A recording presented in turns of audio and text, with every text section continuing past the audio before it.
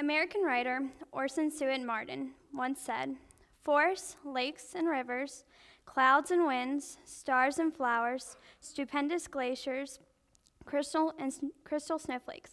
Every form of animate or inanimate existence leaves the impress upon the soul of man. When I told my parents the topic of my speech was to be connecting with nature, they both chuckled. My mom said kids today don't connect with nature unless there's an app for that. Then my parents started to entertain me with stories from the, their childhood. They both told me that they went for long bike rides, or adventures, my mom liked to call them.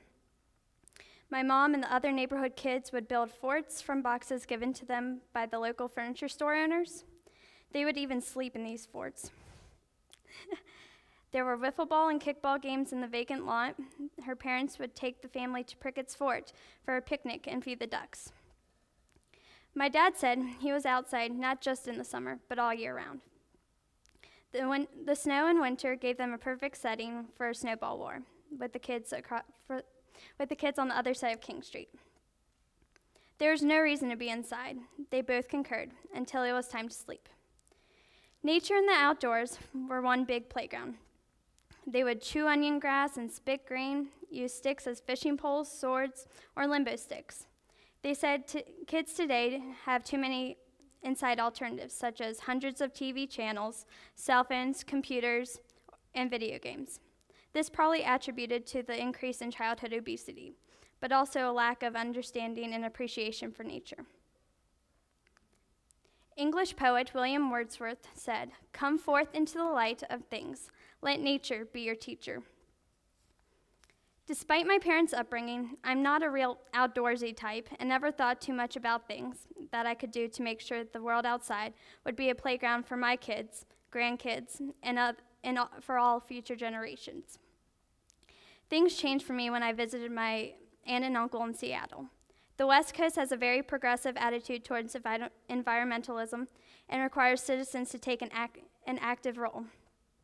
My aunt is a great role model for my whole family.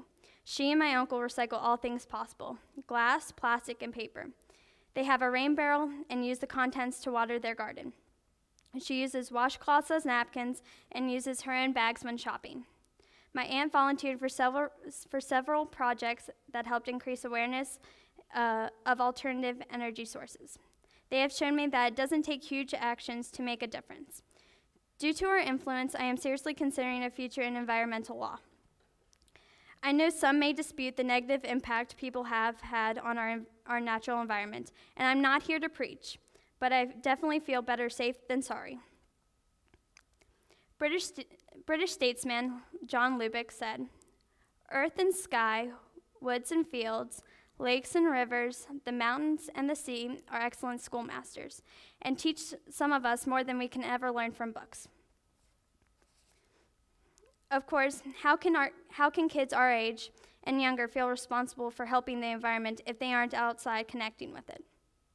One suggestion I have is to start in the schools. Kids spend 180 days of the year learning about various subjects.